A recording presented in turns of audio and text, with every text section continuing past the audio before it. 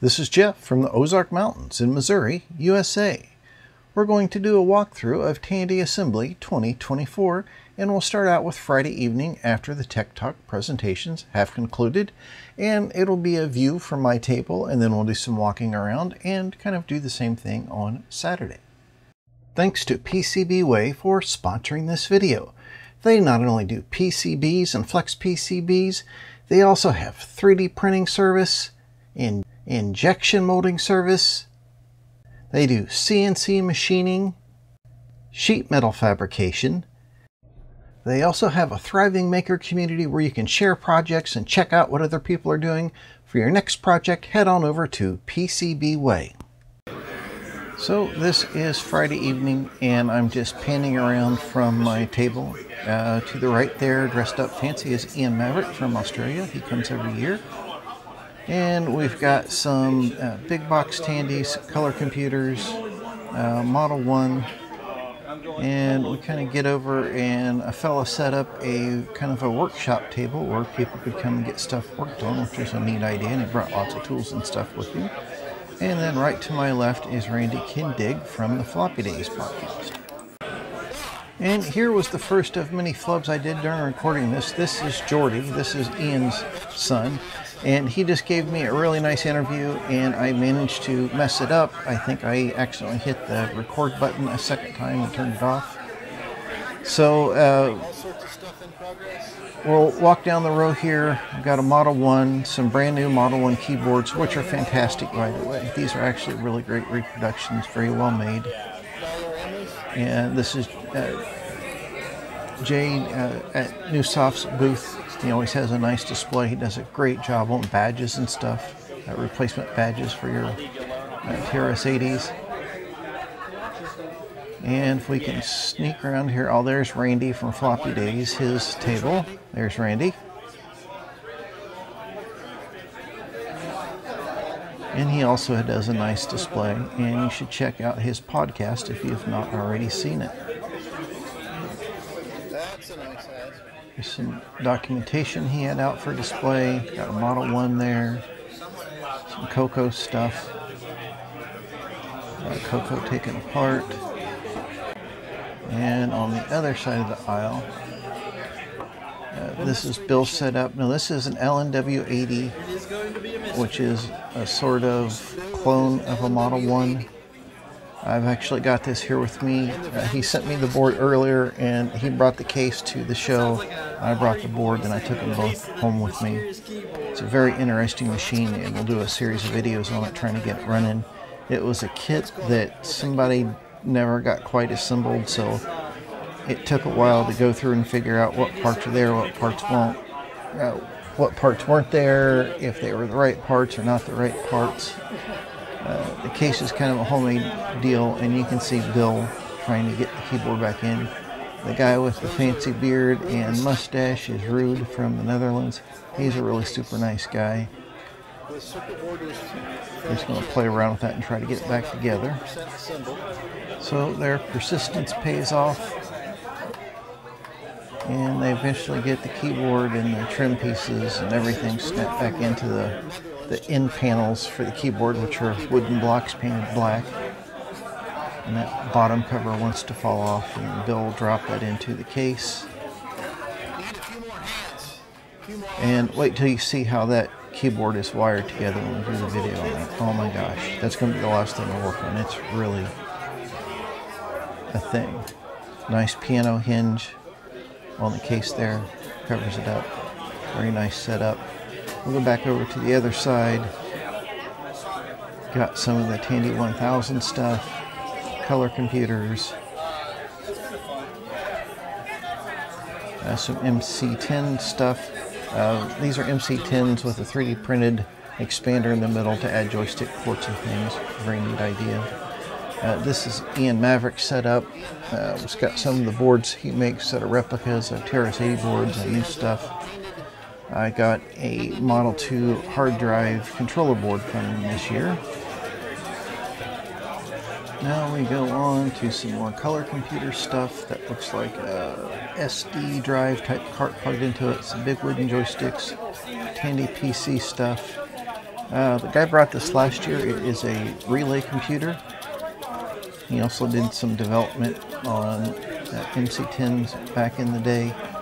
And the relay computer is controlling this little robot. Kind of a neat setup.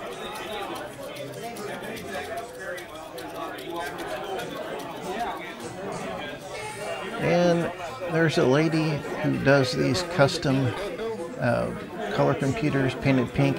And these are actually very, very well done. Uh, it's an impressive job. It's not my style, but she does a wonderful job. My favorite joystick, Wico Command Control, connected to a Model 1, a clear case for Model 1 that was 3D printed. These are replica uh, Archer Radio Shack amplified speakers. I'm to get those when they come out. That's cool. There we have a Model 100. And that was like a Model 3, I think. Or a Model 4. This is a Model 3. I can't tell. And you can see this guy here. There's a lot of people around there, so you can't get it. He had a telephone line there set up with Tandy's, I think it was a TPS something, maybe it was a, a terminal, you know, electronic teletype type thing. And down here on the end, we've got, oh, here's Don French. I got to meet him. And we'll turn the corner here. Here is Steve Leininger. Uh, Steve was the engineer that developed uh, Model 1, and Don was the guy that spearheaded the whole project and made it happen. Absolutely fantastic to meet these guys and get to talk to them. This is Lawrence here. Uh, we'll see a nifty little gadget he made right at the last minute before he came to the show a little later. I couldn't get into it right now.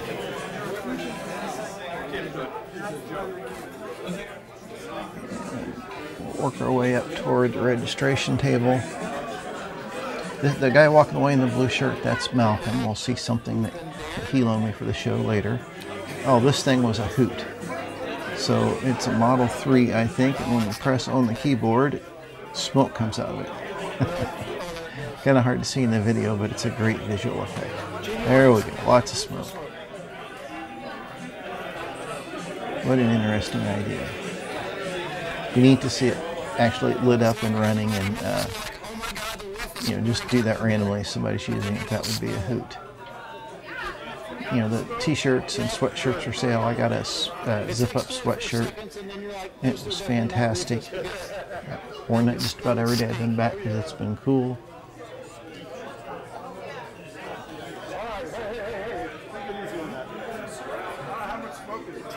There's pete and his son. Pete is one of the driving forces making Tandy Assembly happen.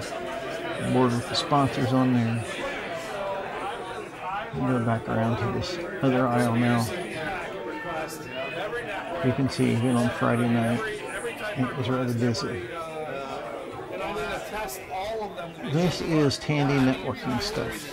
Uh, they came up with methods to network the computers together for classrooms and things like that, which was kind of unique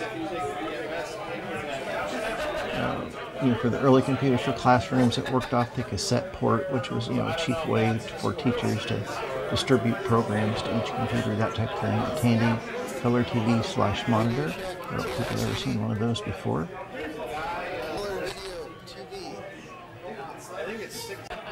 Here we have some Tandy PC compatibles, the Sensation, that type of thing, color computer Model 1, uh, Model 1 parts that are working. These guys were nice. This is a father and son. I actually did a nice interview with them, but I managed to somehow screw that up too. I don't know what I was doing when I made that happen. And I forget whose table that is. Lots of parts and things. Uh, I think we just passed Jim Brain's table right in here is his stuff. He always has a lot of interesting things. This is some type of color computer compatible sort of thing. Model 4, Model 3, Model 100.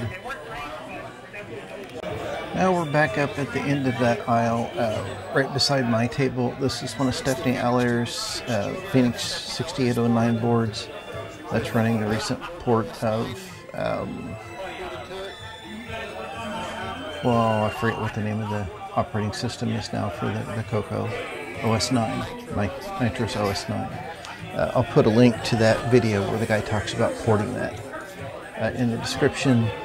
Some more color computer stuff, including a little portable uh, drill battery pack powered MC10, which is kind of neat. They had a move base to it. Uh, the guy that we seated that we just panned past, uh, which you'll see here again, is John, uh, one of the guys in Tandy Emeritus. They make reproduction back planes and card cages and stuff for the 8-inch systems. Really great stuff. They did a very good job on it. He was the head developer of Xenix, which is a Unix operating system uh, put out by uh, Microsoft for the Tandy business machines. And so here we're going to take a look at the uh, table stuff people donate to go for the auction, and the auction is used to raise money to put on the show. So people bring in stuff and they donate it, and sometimes it's like, you know, a printer for parts, uh, some test equipment, you know, uh, old computers of various types. You never know what you're going to find. Uh, that's where I got my Model 2 last year. There's a couple of pocket computers there, a little bit of everything. Uh, some gift baskets from Canada, boxes of magazines, all sorts of crazy stuff. Disk drives for a Coco, t-shirts. Those were TRS-80 Radio Shack related. Um, they call that a, a roller ball for a Coco. One of the IBM convertibles. Brief shot of my table, which is, of course, pocket computers and the uh, prototype Model 100. Malcolm, the guy I pointed out earlier, uh, loaned me this board to display with the prototype Model 100. This is a prototype uh, software development system for the Model 100. Uh, the ribbon cable you see there plugged into the system bus connection and it the four 8K EEPROMs get mapped into the space normally taken up by the option ROM so it let a developer more easily develop programs without worrying about the goofy option ROM socket and pinout and things like that. It brought signals and things out to these boards. And you notice that big yellow wire there uh, on the right, that would have hooked to that mystery wire that was sticking out of my prototype Model 100, so that's another mystery solved. This is Saturday between presentations, again starting out from my little table, and I'll fast forward through all the stuff we've already seen. About in here, toward this end is where I bought Model 12. More of the networking stuff. And that was a really nice group there. I don't know who bought that. There's Jim Brain, Jay, uh, Floppy Days, PC Stuff, Cocos, and here's Ian. Here we have Ian with a Tandy hard drive sitting on top a Model 4P. And note that this hard drive, which is probably all of 20 megabytes, is half as big as the computer and he's talking to the owner and he's trying to get it formatted and tested. So he'll poke away on the 4P and the drive actually does respond. And yeah, that is a real five and a quarter uh, full height MFM hard drive in there. That still works and it sounded pretty decent too. And as you can see here, Ian did get the hard drive to respond. It actually worked. It was formatting and reading back. And kind of amazing that so after 40 years, the drives which weren't that reliable then, some of them still work. And we'll do some more walking around. Uh, here's our pink Cocos again. Again, those are really nicely done. The reproduction speakers. The thing with the dials on it is an old Radio Shack uh, digital computer kit. I had a later version of that which had springs and switches.